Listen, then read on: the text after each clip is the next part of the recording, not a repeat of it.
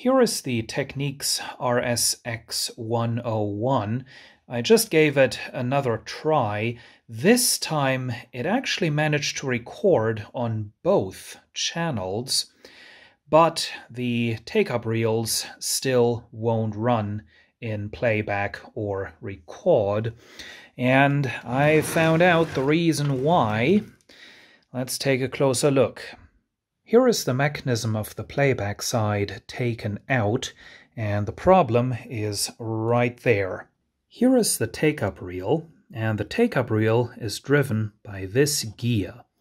And this gear is driven by another gear over here. It comes through from the back of the mechanism, and that gear is driven by the motor via a belt. And you'll notice this gear right here is once again made from this slightly translucent, soft plastic, and once again, it has not stood the test of time. If I move the take-up reel manually, you can see there's two teeth missing there. There is another tooth missing there, another tooth missing there, And okay, that's all the way around. Now, moving this manually and also moving this fast in fast forward, the missing teeth don't cause a problem. But if I fool this mechanism into thinking there is a cassette inside and press playback, you can see it instantly gets stuck. Now I can uh, move this a little bit further to get past the problematic spot. And let's try this again. See, it made it one revolution and now it's stuck again. And here is the record side more complex because this is an auto-reverse deck, but the basic arrangement for driving the reels remains the same, and so does the problem. Now, you can see once again down there is the gear right there, and if I turn the take-up reel manually, let's see, can we spot the broken tooth? There it is.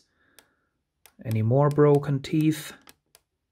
Yeah, I think that's another one. And I think now we're all the way around. So likewise over here, the take-up reel gets stuck at the broken tooth. Now you may wonder, well, the other direction, the reverse direction, does work. Now there is a simple reason for that.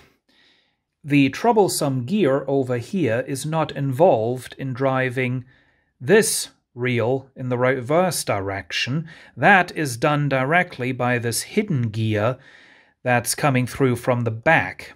So this broken gear is completely out of the game in the reverse direction.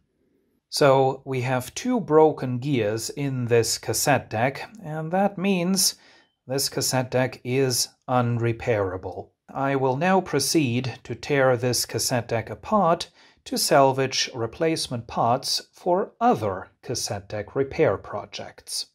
The teardown has been completed, but before I go, I'd like to point out some interesting things. The first one is the level meter. This cassette deck had this very, very sad mono five segment level meter. But there is absolutely no reason for this to be mono.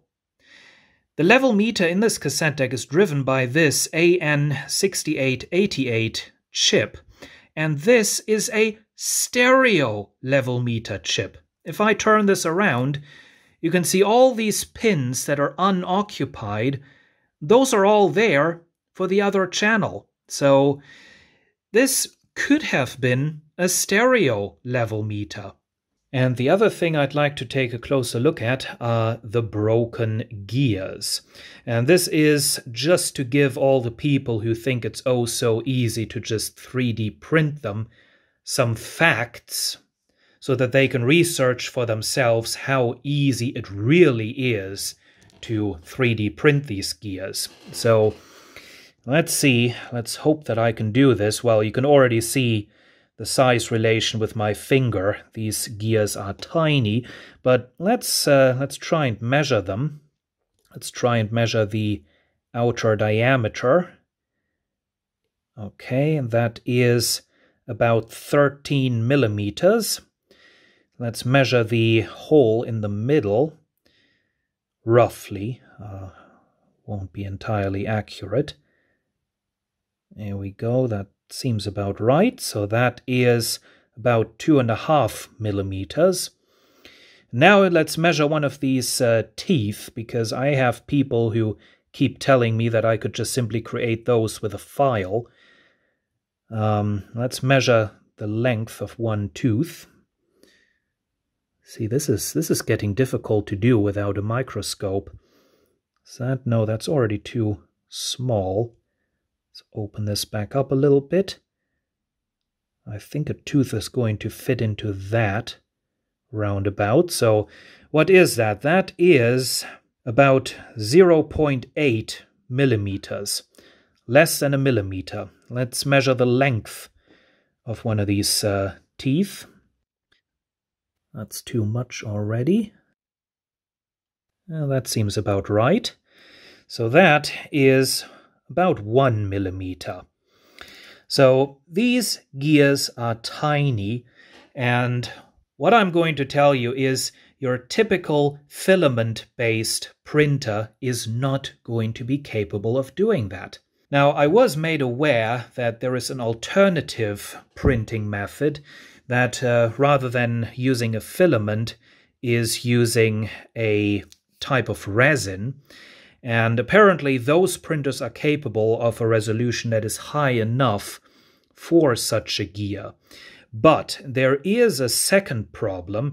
Now, I keep saying these are made from a soft plastic. Well, let me demonstrate how soft these really are. Let's uh, see if we can do this. Look at that. Look at that. You can you can bend them around like this, no problem at all. This is a really, really soft material. This almost feels like a type of rubber. And the soft material, this is not optional.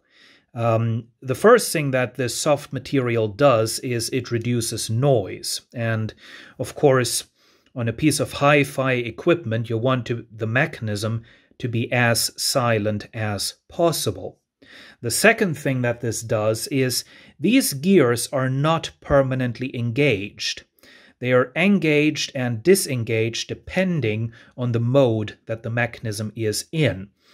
So having this from kind of a soft material creates a certain tolerance that allows the gears to fall into place more easily when they are engaged. If you make this from a hard plastic, not only is the mechanism going to be screaming loud, but also uh, you might end up with situations where instead of just simply engaging, the gears are just going to jam up. So that's the other thing, the soft plastic. So those are the two challenges and now another method that was brought up in another video in the comment section is to create a mold from these gears. Now, of course, you can't create a mold anymore from these gears. It's too late because they already have some broken teeth.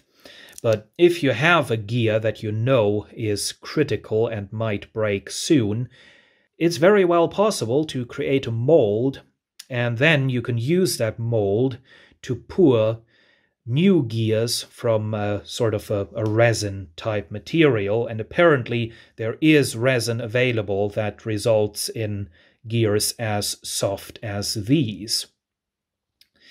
So that's another good point. But that's about as far as I would like to go in this video and in general. I'm certainly interested in methods to replace these gears, but I don't think I would ever do it myself unless I come across a really, really special cassette deck that I think is worth this much effort. So, those are all thoughts that I would like to document, just simply so that we can finally bring some facts into this ongoing debate, and I don't constantly have to put up with ridiculous suggestions that are guaranteed to fail. Thank you for watching.